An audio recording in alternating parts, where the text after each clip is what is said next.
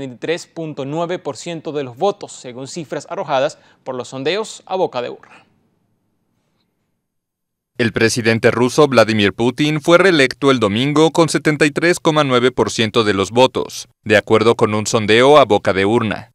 Putin, que accedería a un cuarto mandato para permanecer en el poder hasta 2024, fue seguido por el candidato comunista Pavel Grudinin, que logró 11,2%, y el ultranacionalista Vladimir Jirinovsky con 6,7%, según datos del Instituto Estatal de Sondeos Betesión. Putin se enfrentó a otros siete candidatos en una jornada electoral marcada por acusaciones de fraude de la este domingo, el Comité para el Brexit del Parlamento británico informó que la